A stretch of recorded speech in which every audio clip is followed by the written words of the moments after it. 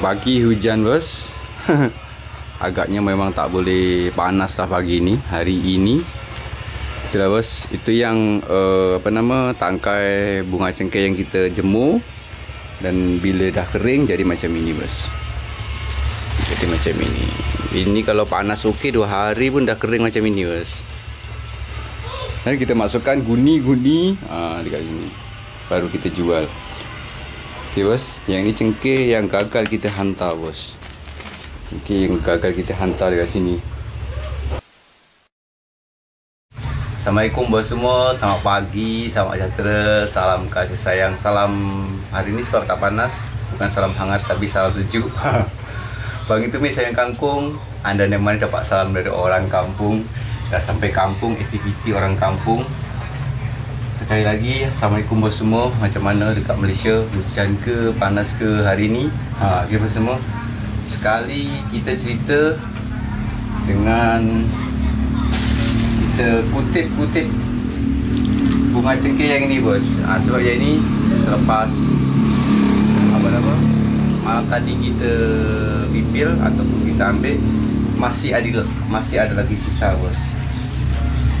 Yang ni daun-daun ini bolehlah sebenarnya kita jual tapi memang uh, tak cantik lah kalau yang daun yang basah macam ni. Untuk apa nama gagang cengkeh ni kalau basah RM4,000 kalau kering dalam RM17,000 ataupun kalau RM2 uh, dalam RM6 lah bos kalau yang kering dah. Kita semua salah sambil kita cerita uh, pengalaman atau yang berlaku semasa kerja dekat Malaysia bos Yelah kalau pagi hujan tersebut uh, Masa saya kalau pagi-pagi hujan Memang sedih lah bos.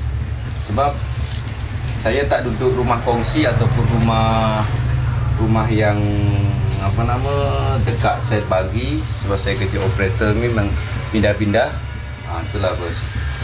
Yang risaunya Yang risaunya dekat tempat Rumah sewa hujan Tapi dekat set tak hujan bos. Itulah yang pagi kalau hujan hujan biasa ke hujan lebat ke bangun tidur ha, bos bila tengok hujan tu itu pun sedih kalau pagi. Sebab nak pergi kerja tu agak susah sikit lah. Kena pakai baju hujan start motor ha, nak ke tak nak kena pergi.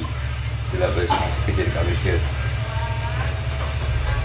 Senang lah kalau kerja site macam tukang kayu ke baju simen ke yang selalunya akan duduk dekat site tapi yang kerja terakhir selama 3 tahun ni kerja dekat MRT memang tak ada site, tak ada tempat duduk untuk bekerja, kena duduk luar. Ataupun kawan-kawan yang bangla tersebut uh, apa nama subkon ke minkon ke memang akan duduk luar. Tahu ke dia akan bagi tempat duduk tapi dekat luar pun. Jadi kalau hujan hmm, kalau pagi hujan tersebut uh, apa nama kena pakai baju hujan kena reda hujan juga. Ah itulah bos, pengalaman yang cukup cukup sedih bos. Sampai kita prepare yang ni bos. Ini kalau banyak bos, kalau banyak macam subkon, sebutlah subkon ke pemborong cengkeh. Dia tak ada cengkeh tapi dia borong cengkeh dekat petani yang yang rasa-rasanya tanah dia banyak. Tanah dia banyak tapi dia ada pekerja ada pekerja banyak bos. Ramai dia punya pekerja dia akan ambil borong dekat pokok macam itu dia akan beli dekat pokok bos. Jadi dia borong masa bunga cengkeh ni ada dekat pokok lagi. Ha, selalunya kalau dia orang boleh petik banyak macam yang petik 8 orang memang banyak lah ataupun 10 orang memang banyak dia punya yang ni dia punya bunga cengkeh yang ada sia-sia macam ni boleh kutip itu pun boleh dapat 1 kilo bos. Tapi kalau sikit-sikit macam ini untuk yang punya sendiri memang uh, tak banyak lah.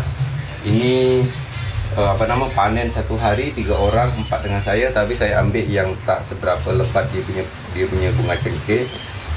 Jadi memang dapat tiga guni setengah yang selalunya pun saya tak sempat lah. Saya dengan mak, mak saya pun tak sempat untuk kutip-kutip macam ini. Yang selalunya akan saya akan terus jemur. Sebab yang ini sekarang hujan sekali sekali kita buat cerita masa pengalaman dekat Malaysia. Pagi-pagi tadi hujan kita ini bos apa nama? Kutip-kutip bunga cengkeh yang masih lagi tersisa dekat dekat tangkai yang ini. Banyak apa sebenarnya? Banyak lagi kalau sampai dapat 6 guni itu 10 guni petik bunga cengkeh memang dapat lah. Banyak dia punya ini. Yang selalunya ada lah. Yang asingkan dia punya daun asingkan dia punya bunga cengkeh. Dengan kutip-kutip sisa lagi bunga cengkeh kalau dia ada banyak memang dia masing-masing ada pekerja lah bos. Biasa orang kampung.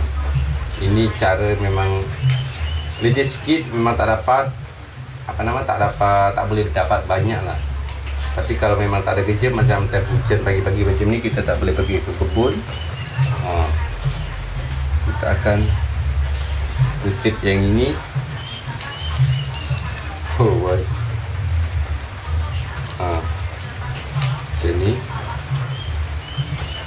Dapat memang tak banyak lah. Tapi kalau ada kerja yang selalunya kita bangun terus pergi ke ke kebun. Memang yang ini memang kita akan terus jemu macam yang depan tadi tu bos.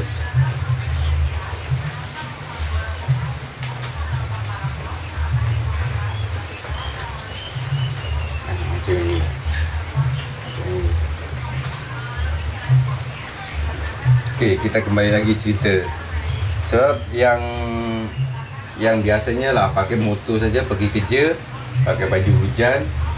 Sebab kadang-kadang lah, kadang-kadang masa dulu masa dulu saya ada kereta dulu nak pakai kereta pun mesti jalan jam ya tak memang tak sampai. Itulah. Memang akan lambat sampai apa apalagi tem balik bos. Kalau pakai kereta memang jalan jam teruk. Ha, itulah. Saya lebih suka pakai pakai motor walaupun masa tahun entah tahun berapa saya pun ada yang lama itu memang betul-betul sedih. Kalau time hujan pagi-pagi nak pergi kerja tu bos ha, lagi kita asingkan yang ini. Bos sekejap. Ini tak banyak lah. Ini yang kita petik tiga orang pekerja ataupun tiga orang yang petik saya pilih pilih aduh, pilih yang tak seberapa banyak bunga cengkeh jadi tak tak dapat banyak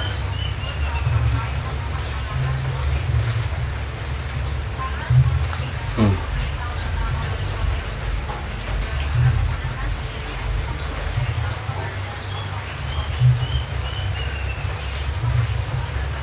Okay, semua. Sampai jumpa lagi. Assalamualaikum warahmatullahi wabarakatuh.